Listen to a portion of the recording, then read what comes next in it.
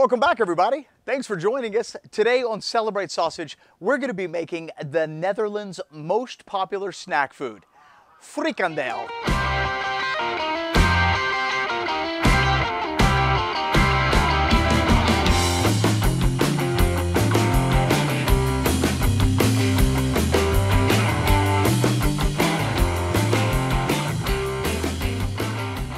Frikandel is an incredibly delicious Dutch sausage. It's typically poached and then fried, and you can eat it various ways. In today's video, I'm not only gonna show you how to make frikandel, I'm gonna show you how to make a frikandel special, which is a very popular way to eat it.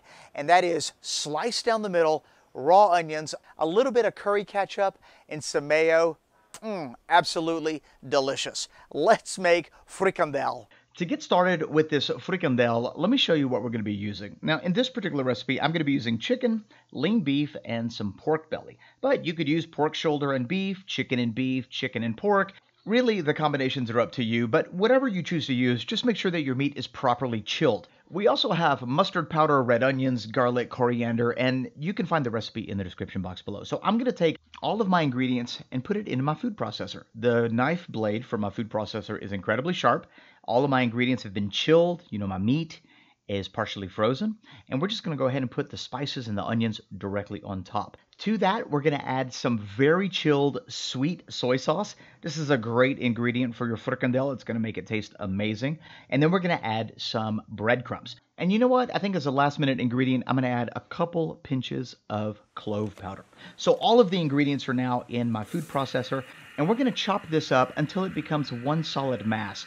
It's going to be kind of like a semi-emulsified sausage. This process only took probably about two minutes, and this is what our mass is going to look like. Because most of our ingredients were semi-frozen when we added them to the food processor, our mincemeat is incredibly cold still. And all I'm going to do now is form our frikandel log. So I'm going to be putting it on uh, some cling film, rolling it out till it's about 20 centimeters in length, which is a standard frikandel size. And then I'm going to wrap that cling film because we're going to poach it in that cling film. Let's go ahead and measure it just to double check.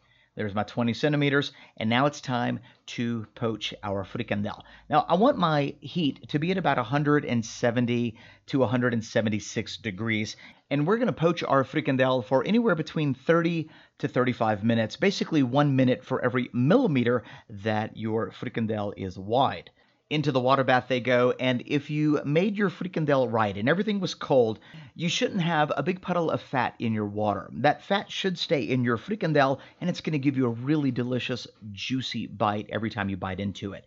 Now that they're done poaching, we're just going to go ahead and remove that cling film and get them ready to fry. Now, you could take these just like that and freeze them, pull them out whenever you want to uh, use them and then fry them later. But in order to get them ready for the oil, we're just going to pat them dry. We don't want them to be wet.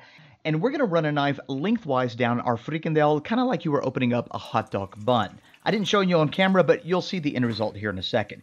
In 350 degree oil, we're going to fry these until they are golden brown because they're already cooked. And we're just going to set those on a tray to drain for a quick second as we prepare our frikandel special. Now, this is a great way to eat it. So here's our cooked frikandel. You can see what happens when you slice that frikandel lengthwise. It looks exactly like a hot dog bun at this point, and it now opens up a cavity where we can fill it with our delicious frikandel special ingredients, which is going to be raw onions, a whole lot of onions. And if you want to use purple onions, that's great too. We came back with a little mayo, and then we're going to finish off this with some curry ketchup. Now, I happen to use all the curry ketchup on that first one, so we're going to use re regular ketchup on the other one, which is totally acceptable as well. And there you have it. This is our frikandel special, the number one snack food in the Netherlands. We're going to give this a little cut and see what it's all about. And I can tell you right now, I love the way it slices. It's got a beautiful texture. It smells great. Let's taste it.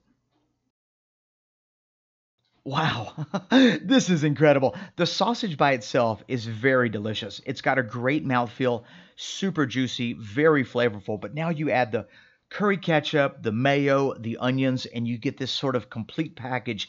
I can definitely see me making this sausage again. I highly suggest that you make this sausage. It's easy to make. All we did was use a food processor, blended everything up, and formed it into rolls. It was absolutely incredible. You can find the recipe for frikandel in the description box below. If you have any questions, please leave them in the comment section. And thanks for watching. Be sure to tune in tomorrow, same time, same place, where we've got a brand new recipe for you to enjoy here at Celebrate Sausage. Bye-bye.